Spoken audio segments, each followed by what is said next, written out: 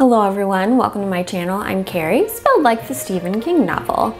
This video is the result of my deep dive into US history of the 1890s during and after making my 1890s historical costume. It is a bit of a horror movie, in part because negative events sell more newspapers and stick in our collective memories more so than positive ones, but I'll throw some relatively not terrible historical moments in there with the bad and the really, really awful. Why am I doing this? Well, have you noticed the push by state lawmakers across America to suppress the teaching of the more difficult aspects of American history, the fear mongering around critical race theory, and the banning of books related to heavy topics like enslavement and its legacy of systemic racism in US society, all to prevent students from feeling uncomfortable and succumbing to the woke agenda, which I don't know, ends up being equality, social and environmental justice? Well, that. I'm all for social justice. If you are interested in learning a more nuanced version of American history than the mythical American dream and American exceptionalism, then this video is for you. If all you want to hear are the positives of our past, you should probably watch this anyway because discomfort can lead to learning and greater empathy. All of this sums up to a major point I want to make with this video that despite my enjoyment of making and wearing historical costumes, I do not in any way think I was born in the wrong era or wish I had lived back then. The advances in equality and medicine alone are enough to make me glad I live in the here and now, despite the going on in 2022.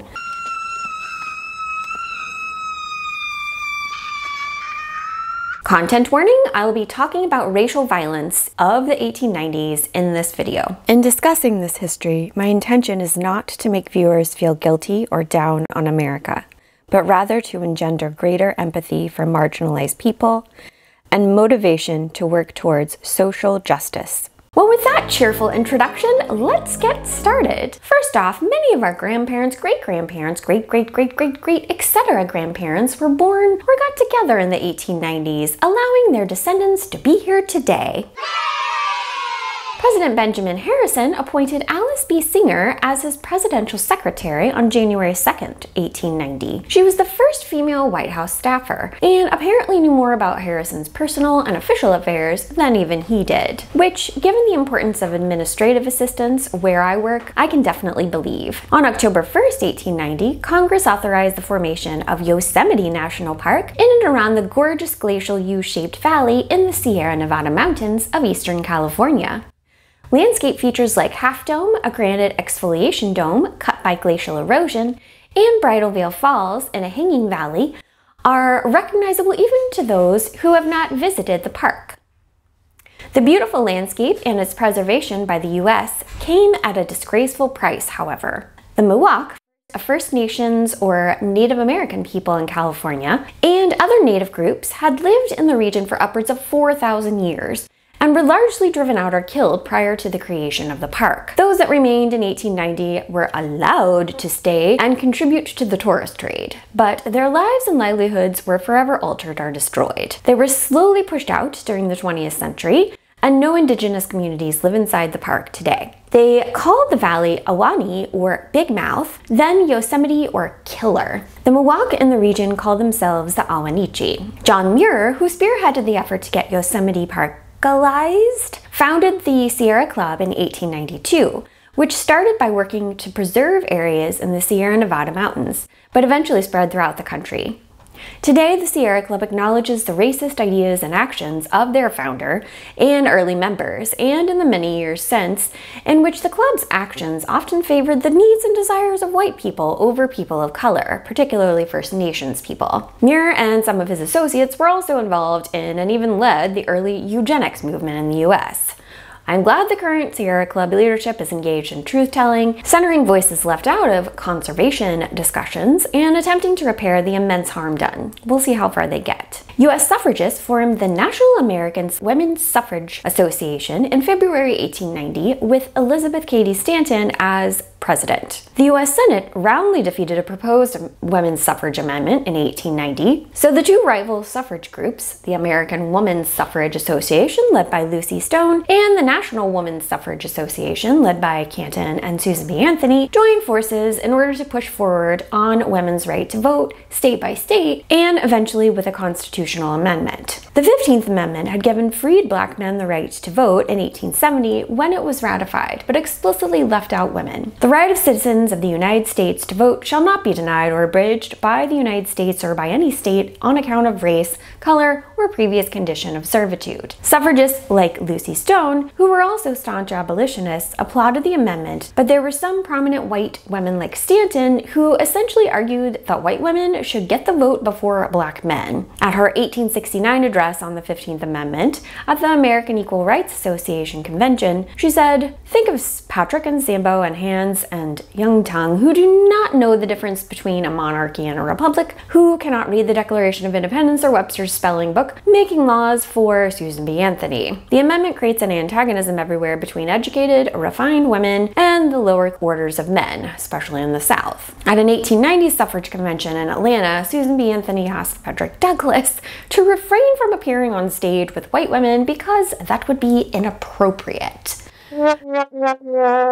Stanton and Anthony were leaders in the women's suffrage movement, and their perpetuation of racist ideas essentially split it, dividing the voices and power of those seeking equality, and they made only slow progress for decades after the 15th Amendment was passed. However, when Wyoming and Idaho became states in 1890, and other western states later in the decade, their constitutions granted full women's suffrage. This push for women's suffrage as a whole encapsulated first wave feminism, which unfortunately left out black women. But of course, the 15th Amendment did not sweep away the inequalities of the past, and Jim Crow laws sprang up in retaliation, particularly in the former Confederate states. In 1890, Mississippi was the first state to require a literacy test as a qualification for voting. Poor, uneducated whites were grandfathered in with a clause that enabled previously free people who voted in the state prior to 1866 to forego the test and keep on voting. Other states soon followed with these laws that disenfranchised the black male vote. 1890 also saw the publication of Jacob Riis' How the Other Half Lives, studies among the tenements of New York, which included line drawings and reproductions of his photographs of people in New York City slums taken in the 1880s. Riis was among the first Americans to use flash photography, and he did so at night on Manhattan's Lower East Side to document poverty, crime, desperation, and homelessness, and expose these elements to the upper classes with the hope of inspiring empathy and change. Riis followed up this book with a sequel in 1892 entitled Children of the Poor.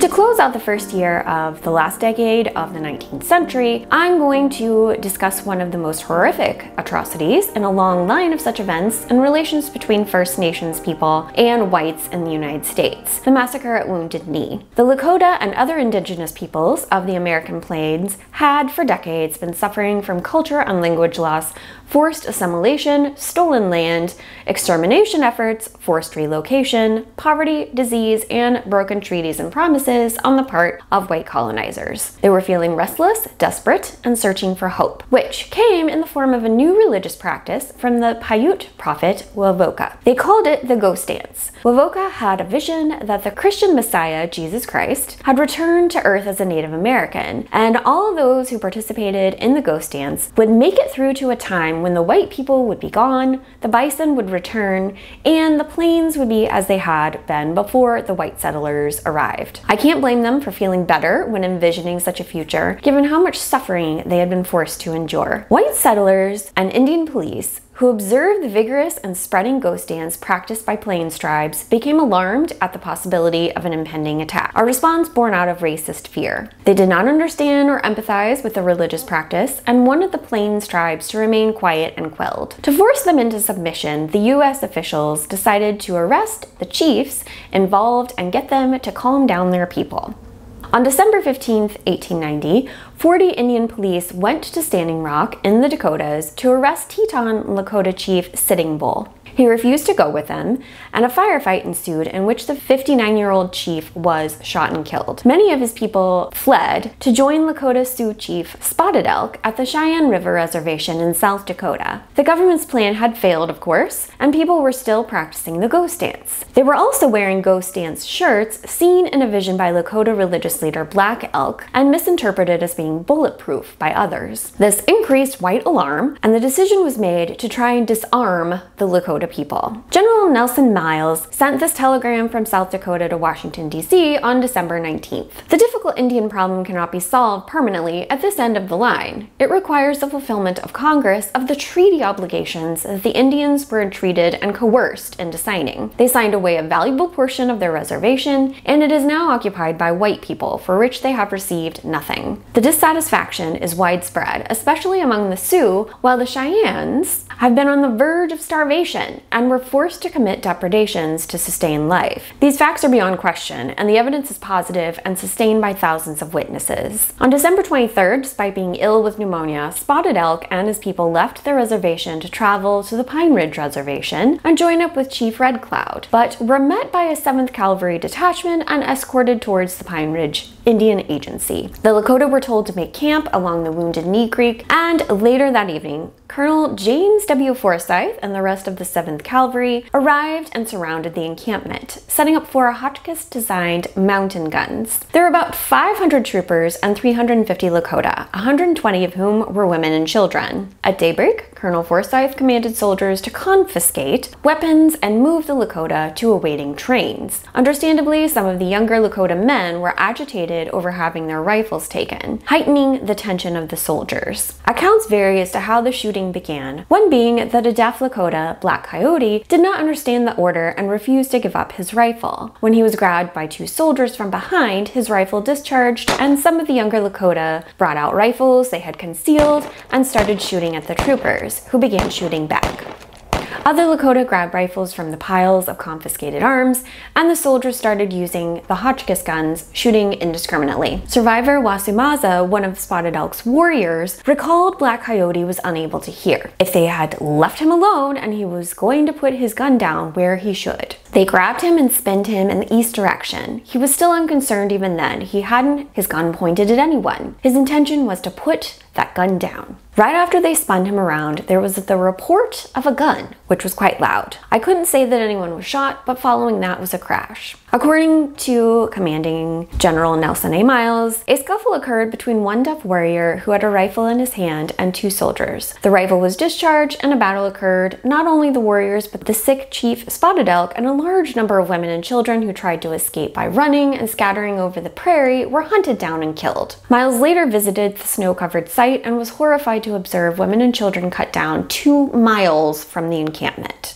When the shooting stopped, 150 to 250 of the 350 Lakota people were dead, including 64-year-old Spotted Elk and Black Coyote, and 51 were wounded. The cavalry forced the wounded onto wagons for transport to Pine Ridge and left the dead because of an incoming blizzard. Later, journalists posed frozen bodies of Lakota people, including Chief Spotted Elk, in order to take pictures of them for their newspapers. I find these photographs horrific and disrespectful. Black Elk later said, I did not know then how much was ended. When I look back now from his, this high hill of my old age, I can still see the butchered women and children lying heaped and scattered all along the crooked gulch, as plain as when I saw them with eyes still young. And I can see that something else died there in the bloody mud and was buried in the blizzard. A people's dream died there. It was a beautiful dream. The Wounded Knee Massacre effectively ended Native peoples' organized armed resistance to white settlers in the West. I don't remember learning about this massacre in any of my grade school history classes, but now that I've researched it, I will never forget it, and I think December 29th should be a National Day of Remembrance and Mourning. On a happier note, 31 year old Canadian grad student James Naismith invented basketball in late 1891, a game that has had a huge impact on many Americans. Naismith came up with the idea while trying to occupy his physical education students at the YMCA training school, now Springfield College, in Springfield, Massachusetts. As a teacher, I can totally relate. Dude, it's even harder now that they all have smartphones. Anyway, Naismith used two half bushel peach baskets as goals, hence the name of the game, and a soccer ball. Those first players were quite enthusiastic, and news spread quickly about the new game, leading other physical educators to ask Naismith for a list of the rules. He published them in the campus newspaper soon after, and the game spread from there. And hey, a bunch of new people were becoming Americans, and I'm sure many of their descendants are basketball fans today.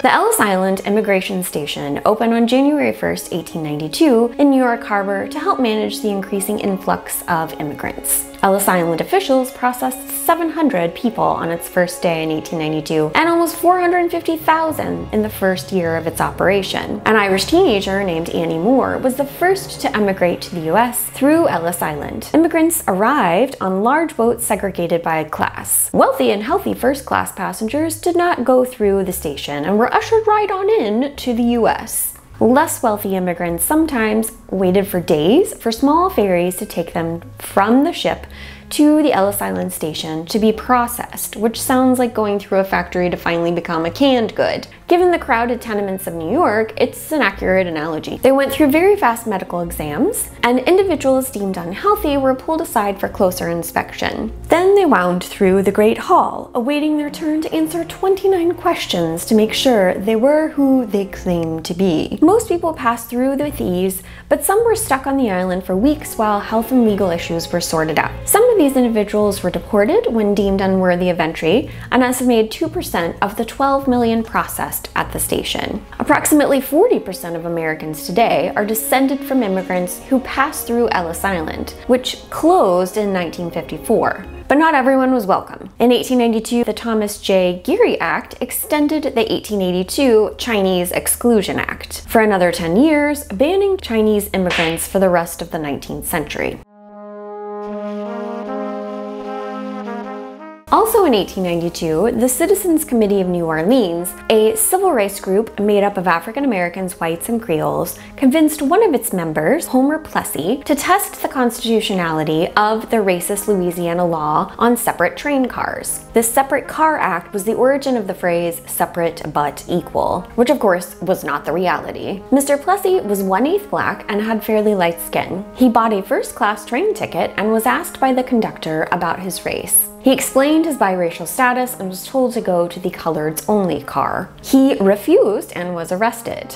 Judge John H. Ferguson ruled against Plessy in Louisiana, and the Citizens Committee helped Plessy appeal the case all the way to the Supreme Court. In 1896, the justices ruled against Plessy 7 to 1, stating the Louisiana law did not violate the 13th or 14th Amendments, the latter of which, according to them, was not intended to prevent social or other types of discrimination. The majority opinion by the Supreme Court essentially legitimized segregation laws and racial discrimination by private citizens and businesses. Justice John Marshall Harlan of Kentucky was the only justice who dissented the 1896 decision.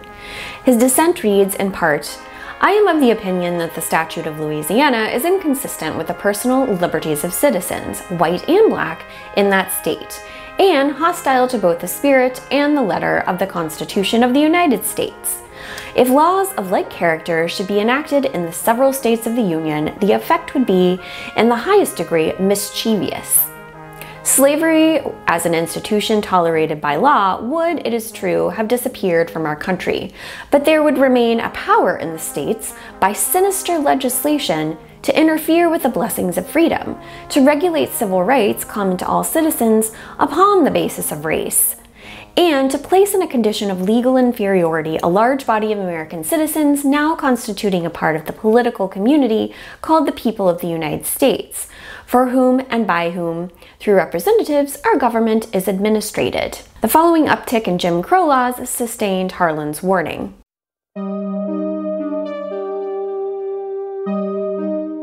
In 1893, Lizzie Borden was acquitted of the murders of her stepmother Abby and father Andrew, who had been killed with a hatchet. Her parents' heads had been removed during the autopsies and the skulls displayed during the trial, causing Miss Borden to faint in the courtroom. The murder weapon was never found, and no one else was ever charged with the crimes. Lizzie and her sister became very rich with their inheritances, but socially isolated.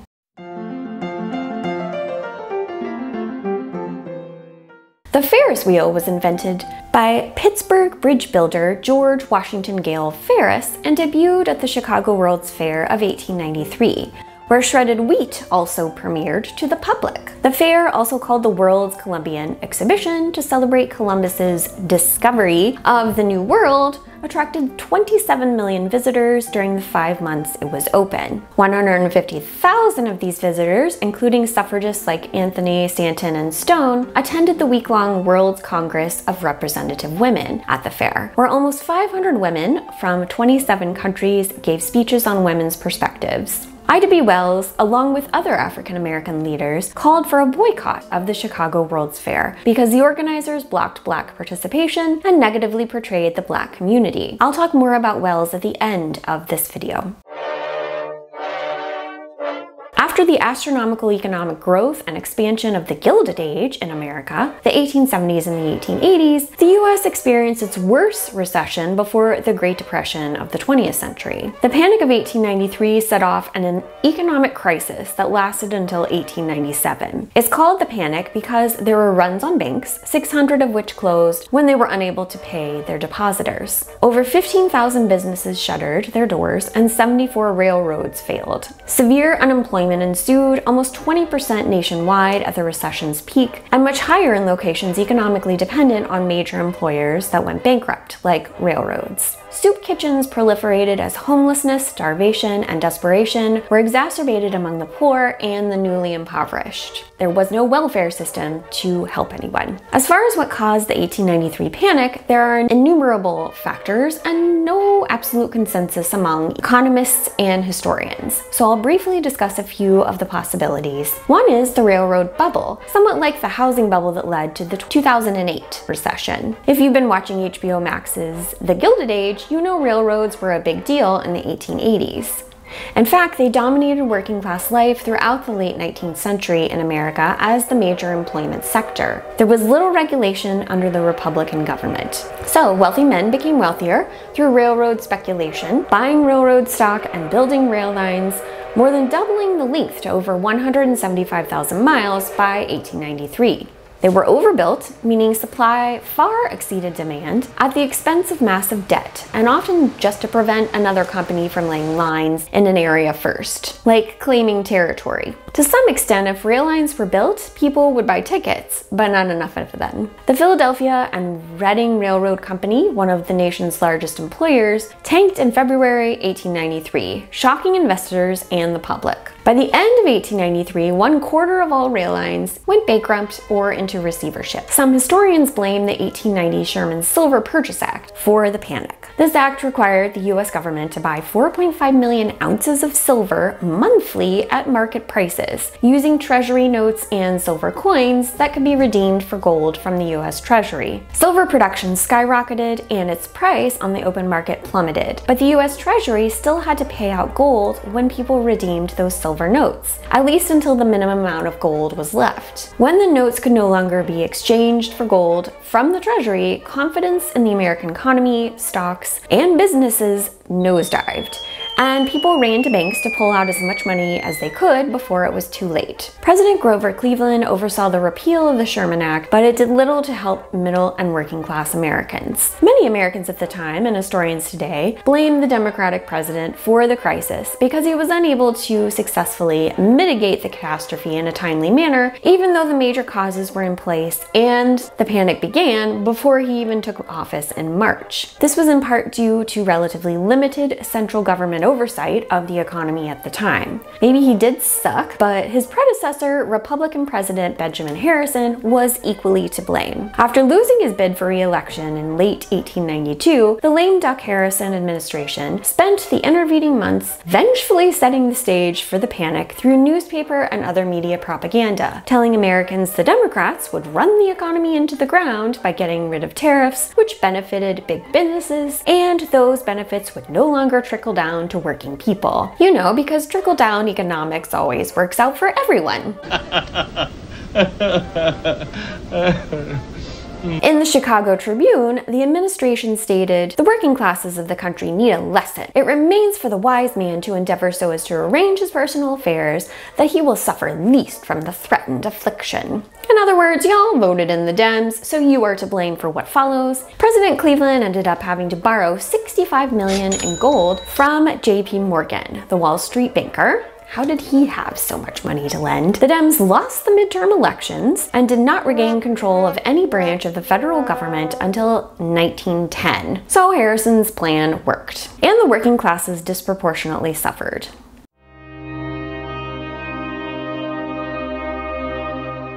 But the wealthy could go to Hawaii and buy up land. The island chain of Hawaii was not yet a part of the United States, but crucial steps in that direction took place in the 1890s when the US essentially took over and stole a sovereign nation for economic and militaristic gain.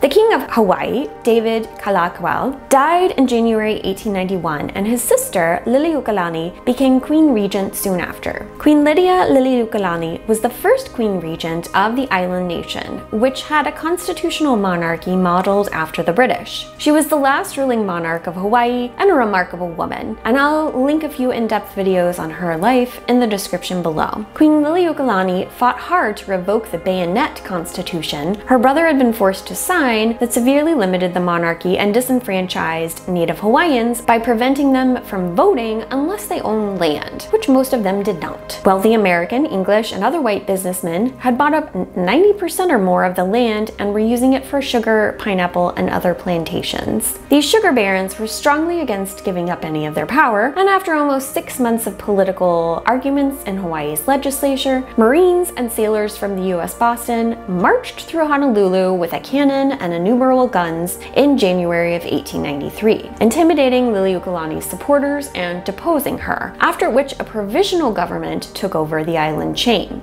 This government was headed by plantation owner Sanford B. Dole, whose cousin later started the Dole Food Company. The deposed Queen Liliuokalani relinquished her throne not to Dole's government, but to the United States, in the hope that the US would restore Hawaii's sovereignty to her and her people. She wrote a letter of protest to Harrison, but it was President Cleveland who responded months later. He agreed that her overthrow was illegal, and he authorized an offer to reinstate her if she granted amnesty to those who perpetuated the coup. Liliuokalani insisted they receive the death penalty as usurpers, and Cleveland handed this issue over to Congress, which in 1894 found everyone but the Queen guiltless, allowing the provisional government to form the Republic of Hawaii and crown Dole as President of Hawaii.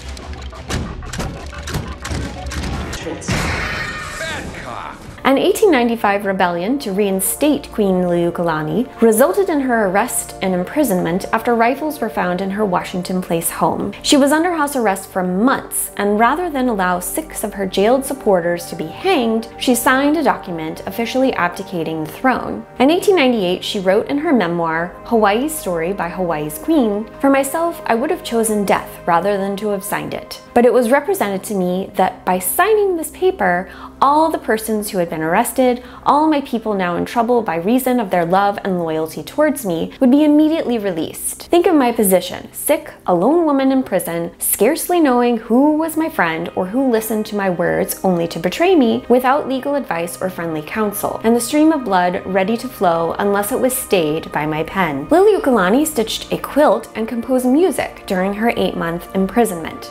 She was a talented musician and wrote Hawaii's national anthem and Aloha Oe in earlier decades. The Republic of Hawaii gave her a full pardon and restored her civil rights in 1896 when she traveled to Washington, D.C. to convince Cleveland to reinstate her. She worked tirelessly to regain Hawaii's sovereignty and, with the grassroots support of her people, protest the push for annexation of Hawaii by the United States. An annexation treaty was defeated in the Senate in 1897, but due to Hawaii's strategic position in the Pacific Ocean, the nation was annexed anyway in 1898 under the Newlands Resolution after the outbreak of the Spanish American War. The United States continued its imperialistic ventures by taking over Puerto Rico, Guam, and the Philippines from Spain, the latter resulting in the Philippine American War. American imperialists like Indiana U.S. Senator Albert Beveridge tried to justify annexation with like the following. Americans altruistically went to war with Spain to liberate Cubans, Puerto Ricans, and Filipinos from the tyrannical yoke. If they lingered on too long in the Philippines, it was to protect the Filipinos from European predators, waiting in the wings for an American withdrawal, and to tutor them in American style democracy. Altruistically went to war? William Jennings Bryan, Andrew Carnegie, Ernest Crosby, and many others founded the American Anti-Imperialist League in 1898 to oppose annexation of the Philippines. Member Mark Twain wrote of the Philippine conflict, I have tried hard and yet I cannot for the life of me comprehend how we got into that mess. Perhaps we could not have avoided it. Perhaps it was inevitable that we should come to be fighting the natives of those islands. But I cannot understand it and I have never been able to get at the bottom of the origin of our antagonism to the natives. I thought we should act as their protector, not try to get them under our heel. We were to relieve them from Spanish tyranny to enable them to set up a government of their own. And we were to stand by and see that it got a fair trial. It was not to be a government according to our ideas, but a government that represented the feeling of the majority of the Filipinos. A government according to Filipino ideas. That would have been a worthy mission for the United States. But now, why, we have got into a mess, a quagmire from which each fresh step renders the difficulty of extrication immensely greater. The Philippines finally gained independence from the US in 1946 through the Treaty of Manila. Hawaii never did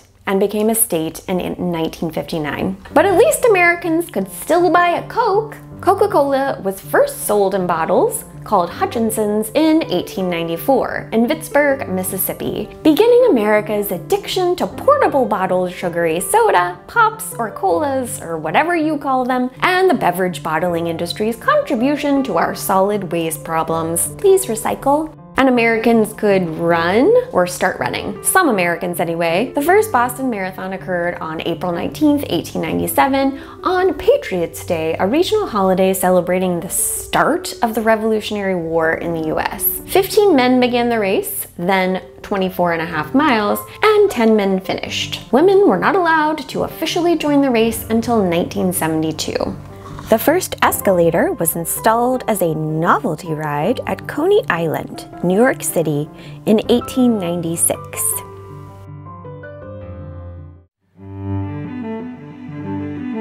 Speaking of women, I'm going to focus on an important heroine of civil rights, Ida B. Wells, in my final segment of this video. Wells was a skilled journalist, researcher, teacher, and activist in the civil and women's rights movements. In the 1890s, she launched a fierce anti-lynching campaign following the 1892 murders of her friend, Thomas Henry Moss Sr., and two of his business associates, at the hands of a white mob in Memphis, Tennessee. Moss was a successful grocery store owner, and Wells was godmother to one of his daughters. She wrote and published columns and articles exposing the racist causes of lynching in the Memphis Free Speech and Headlight, a paper she co-owned with James L. Fleming, and her writing was picked up by black owned papers across the country. Dear Miss Wells, thank you for your faithful paper on the lynch abomination now generally practiced against colored people in the South. There has been no word equal to it in convincing power. I have spoken, but my word is feeble in comparison. Brave woman. Ida's writing angered local rights who responded with violence. They burned down the building housing Wells' printing press and offices, forced Fleming to flee and threatened Ida, who was vacationing in New York at the time,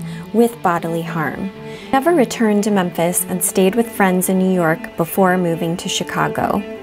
October 1892, Wells published her pamphlet, Southern Horrors, Lynch Law and All Its Phases, detailing the white brutality manifest in the racial violence of lynching to make Northerners aware of these murders in the Southern states or to rid them of their inaccurate assumption that black men deserved such extrajudicial punishment for raping white women. Thomas Henry Moss had only been guilty of running a burgeoning business across the street from a less successful white owned grocery. Countless other black victims of lynching had not been accused of any crime, much less convicted of one, and were murdered for things like having a reputation, unpopularity, frightening a child by shooting rabbits, or for no discernible reason at all. Wells accurately portrayed lynching of successful black people like Moss as a means of suppressing potential black economic competitors. As she wrote, the way to right wrongs is to turn the light of truth upon them. White abolitionists in Britain invited Wells to speak on lynching in the UK based on Frederick Douglass's recommendation, and because of her pamphlet, articles, and public speeches. Ida went on two speaking tours in the UK in 1893 and in 1894, and during the second, she wrote for the Daily Inter-Ocean back in the States, becoming the first black American woman to be a paid correspondent for a white newspaper. Her tours spurred the formation of the London Anti-Lynching Committee, the first organization of its kind. She also got a lot of negative press in the States, with many personal attacks attempting to discredit her. In the year Frederick Douglass passed away, Wells upped the ante and brought all of her investigative research and writing skills to bear in her 100-page 1895 publication, The Red Record, Tabulated Statistics and Alleged Causes of Lynching in the United States, 1892 to 1894. This pamphlet would have far-reaching impacts on the debate about lynching and uncovered the lies that lynching was reserved for black criminals, that it only happened during race riots, and that it was necessary to defend the chastity of white women. She included 14 pages of statistics on lynching, all data from articles by white journalists in white newspapers, and she described accounts of lynching in graphic detail. Her statistical analysis revealed the alarming increase in lynch mob violence in the South following emancipation, with 225 black people murdered by lynching in 1892 alone. It also exposed rape as an excuse for the real reason for lynching, white supremacy, a way to enforce second-class status on black people now they were no longer enslaved. Between 1899 and 1929, an average of one black person was lynched every four days in the US. And Wells eventually decided reason and logic were not working and advocated armed resistance. Wells became Mrs. Wells Barnett in 1895 and remained active in the women's rights movement despite being ostracized by U.S. suffrage organizations for openly questioning white women for ignoring lynching. She was engaged in truth telling that we now understand internalized racism made it difficult for white people to hear, and she understood the double whammy of prejudice based on sex and race faced by black women, what Kimberlé Crenshaw would later call intersectionality. Along with civil rights activists like Mary Church Terrell and Frances Ellen Watkins Harper, Wells founded the National Association of Colored Women's Clubs in 1896 to address issues dealing with civil rights and women's suffrage. It is the oldest remaining black organization and is still active today. Ida B. Wells lived a lifetime of combating prejudice and violence and stands out to me as a positive force in the 1890s. She said what needed to be said, an inspiration in her own time and for anti-racists today. This video is not exhaustive, but please let me know what you think in the comments below. What other important figures were active in the 1890s in the US and elsewhere? What other important historical events happened in the US and around the globe? Thank you for watching and please like, comment, and subscribe.